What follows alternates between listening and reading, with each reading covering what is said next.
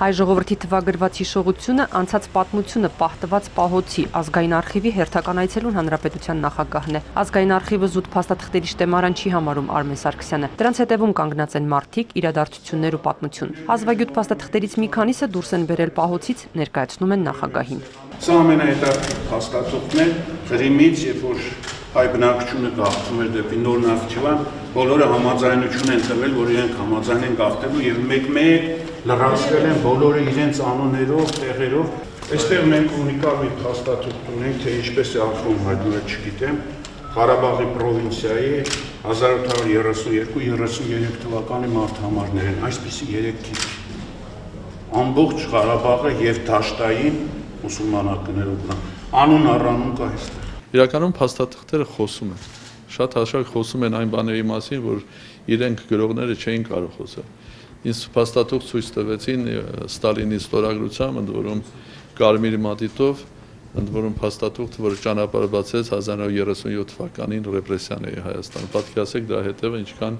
մարդկային զոհեր եւ դժբախտություններ են կանած։ Արխիվային փաստաթղթերի թվայնացումը կառույցում սկսել են դեռ 2004 թվականից։ Ամեն տարի 250 հազար էջ թղթե եւ 1500 կինո, ֆոտո, ֆոնո փաստաթղթ է թվայնացվում։ Իդեպ այս գործընթացից անմասն չի Արմեն Սարգսյանը։ Նա առաջիններով 10 տարի առաջ բարձր որակապահովող թվայնացման երկու սարք նվիրեց արխիվին։ Այսօր տեղում ծանոթանում է աշխատանքի ընթացքին։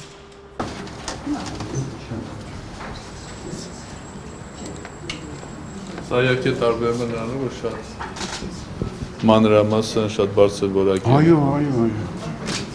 Սա Արմեն Սարգսյանի ազգային արխիվին մատուցած միակ նվերը չէ։ Կառույցի տնորեն Ամատունի Վիրաբյանը հիշեցնում է, որ հայոց ցեղասպանությանը վերաբերող լուսանկարները մեզ են հասել գերմանացի մեծ մարդասեր Արմին Վեգների շնորհիվ։ Արմեն Սարգսյանը արխիվին է հանձնել ժամանակին իր կողմից ձեռք բերված լուսանկարների նեգատիվ տարբերակը։ Ծրարները հատուկ ծրարներ են, որոնք չեն վնասում, չեն վնասում նեգատիվին, նեգատիվները ապակու վրա են, նեգատիվները ապակու վրա են։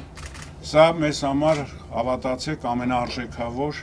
փաստաթղթերից են, որ պահվում են ազգային արխիվում։ Ազգային արխիվի էլեկտրոնային շտեմարանը եւս համալրվում է։ Այստեղ արդեն 1 միլիոն 300 հազար թերթ թվայնացված փաստաթուղթ կա։ Պատմությունը մեր անցյալն է, ինքնությունը, հիշեցնում է հանրապետության նախագահը։ Ապագան կառուցելիս սա անպայման պետք է գիտակցել որպեսզի կարողանանք ձևակերպել, թե այս կամ այն պետության հետ, այս կամ այն հարցի նկատմամբ ինչպեսի վերաբերմունք պետք է ունենանք, նախ եւ առաջ պետք է ողջենք, թե ով ենք մենք։ Հանրապետության նախագահն այցելեց նաև նոր պահոց, որտեղ տեղ են գտել պետական կառույցների կողմից արխիվին հանձնված փաստաթղթերը։ Ընթերցասրահում հանդիպեց գիտական հետազոտություններ կատարող ընթերցողների հետ։ Հյուրեր ունեինք Ռուսաստանից։ Занимаемся восстановлением истории